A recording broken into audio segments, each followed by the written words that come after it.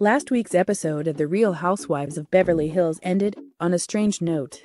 Erika Jayne snapped at Garcelle Beauvais, accusing her of betraying their friendship, leaving Garcelle baffled. Apparently there was a lot more to this story that we didn't see on the actual episode. In fact, Lisa Rinna says that Erika had a screaming match with a producer that we all should have seen. After last week's episode, Lisa Rinna took to Instagram to reveal that something major was left out. Dang it. I wish they had shown the screaming fight. Her story post began. It was a fight between the producer and Erika last night on the show in La Quinta. Now that would have been epic TV, Lisa remarked. It would break the fourth wall, but it would certainly be entertaining. She commented too bad.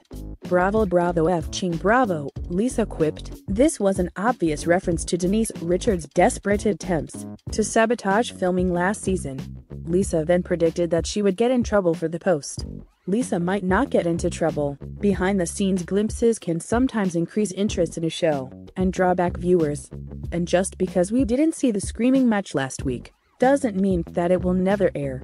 Before we delve into the possibility, however, let's look at what the screaming match may have been about. According to what someone close to the stars has told multiple sites, this was never about Garcelle. Instead, Erika was reportedly furious with production for using Garcelle to get to her. Allegedly, Erika had a private conversation with Crystal Kung Minkoff, and producers heard some of that through a hot mic.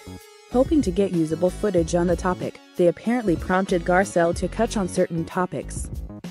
Erika's anger exploded when she realized what had happened. The prompting is fairly standard for reality television. The conversations may be real, but producers will say, oh hey, can you guys talk about the thing? So that they can capture it on camera. Of course there's an agenda, but feeding someone questions or topics to bring up is still a far cry from a convo being fake.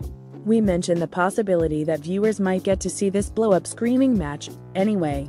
That would be because it could air at the reunion special. We could also see it elsewhere, like on Watch What Happens Live. Erika has strongly confirmed that she will be at the reunion special, despite the obvious sensitivity of the topics surrounding her life and storyline.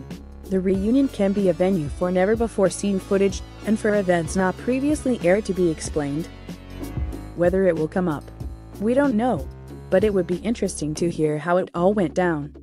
Keep in mind that we have seen Real Housewives air housewives screaming at producers before. One memorable example actually took place at a reunion during a Vicki Gunvalson meltdown. It might do viewers good to have more context, especially since we have to remember that a lot of them only watch the show and do not keep up with the stars on social media. Only time will tell what makes it to air. Erika is in a precarious position, given the very real possibility that some of what she says and is on TV could be used against her. Editors and producers have a lot of power over where her life goes right now. That's an intense situation.